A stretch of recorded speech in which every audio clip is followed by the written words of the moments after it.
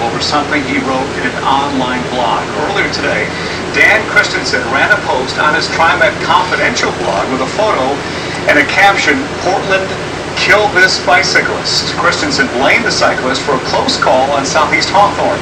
The incident comes just as Willamette Week named Christensen one of the city's best people. A cycling advocate we talked to said Christensen was just venting, but used the wrong words. Portland killed this bicycle. More all unfolded.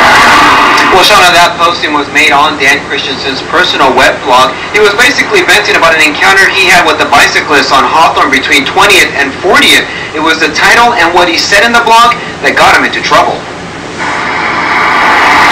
Along one stretch of southeast Hawthorne, traffic and bicyclists are forced to share the road. It's dangerous to bike on this street.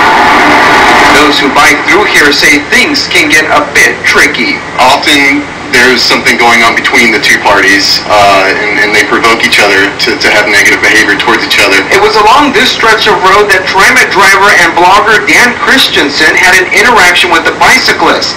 Christensen posted a blog on his personal webpage titled Portland Kill This Bicyclist. So we consider that extreme. Uh, that person is obviously projecting. Maybe they're having a bad day. Maybe things aren't going their way. Part of Christensen's blog read, Attention fool, when you interacted with my bus, you put your life in my hands. At that time, I took extreme measures to avoid crushing you despite your best effort under my tires. Because the blog was removed quickly, we don't know what the interaction was between the bicyclist and Christensen, but it was enough for him to post his frustration on his webpage. He continues to say, Thank you for putting your faith and trust in my skill, perception, and reaction time. However, I think I'm going to now exercise your life in my hands options and have you killed.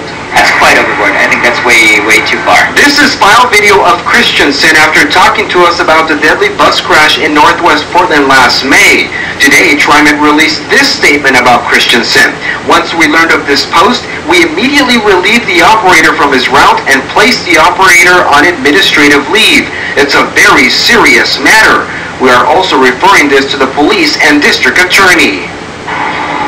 We did attempt to try to contact Dan, but we did not hear from him tonight. We did find that he made a posting on his Twitter page saying he contacted police about the bicyclist, not his post, and says he's sorry if you hurt anyone's feelings. He says 99% of bicyclists are great and has never had any problems with them.